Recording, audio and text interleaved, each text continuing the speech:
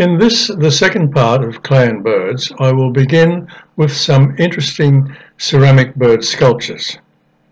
They have been created, I'm sure, for the sheer enjoyment of the potter who has been inspired to skillfully recreate through his craft and the medium of clay a permanent three-dimensional object of a particular bird species. As before, they do also span centuries of time from the early Chinese, English, German and other factories or from studio potters to our modern times.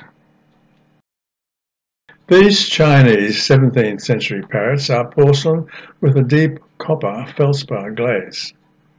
The Chelsea factory in England was renowned for its exquisite bird sculptures such as these chaparral cocks, a lovely little dove, and this spectacular rooster. About the same time, potters at the English Bow Factory were making birds. Both Chelsea and Bow produced their products in soft paste porcelain. The Meissen factory in Germany was particularly famous for its bird sculptures from a very early period.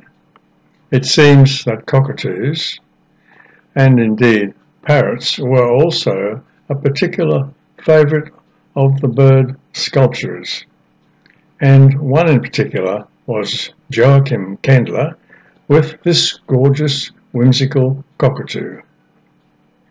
This charming simplistic egret comes from the Royal Copenhagen Porcelain Factory.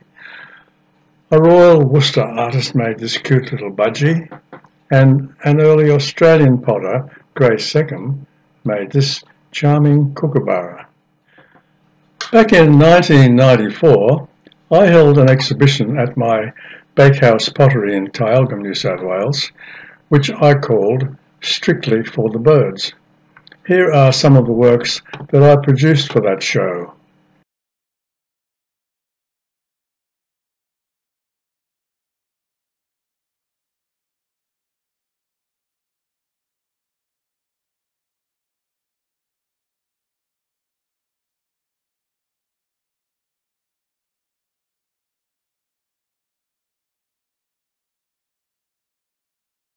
I thought that I would like to illustrate to you by the following images of the humble rooster the sheer diversity of form, design and colour that can be applied by a potter sculptor to a particular species of the avian kind.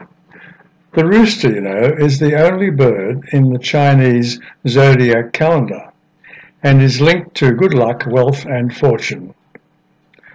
It's also known as the cockerel. These images serve to demonstrate the great variety, as I've said before, of shape, colour, form and texture, glazes and bodies, and the application of the design to a particular use.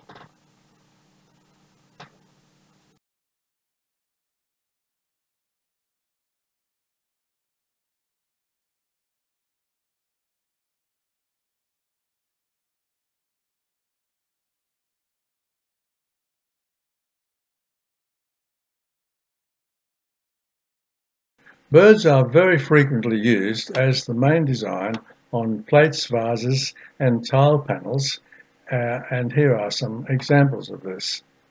This early Persian dish shows a lovely design enhanced with on-glazed copper and iron enamels. The English factories of Chelsea and Worcester specialised in exotic bird decorations.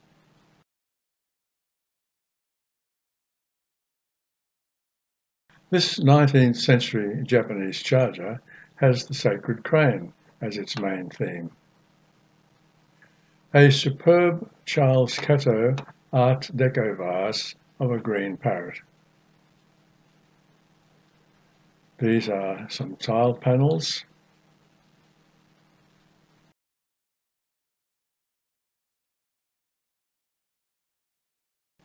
and a couple of pieces by yours truly.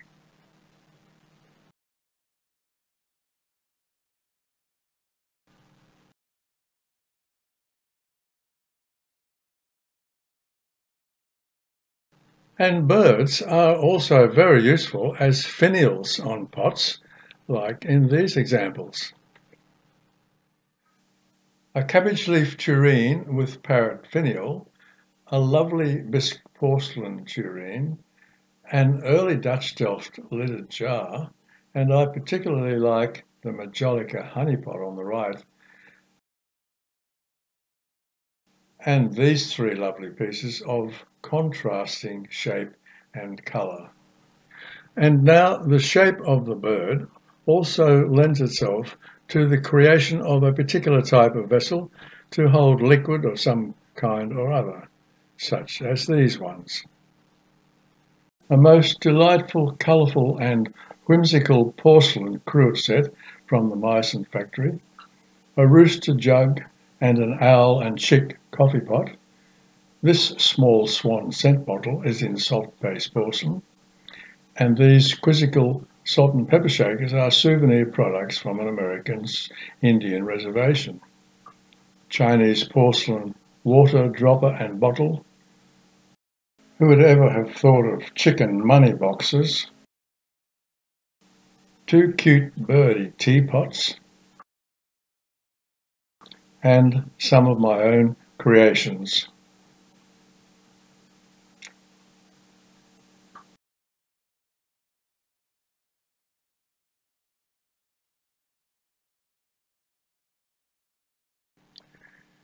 And let's not forget that wonderful flight of ducks, so popular back in the days to decorate a spare wall space. From the traditional uh, earthenware with coloured glazes to something a little bit more humorous.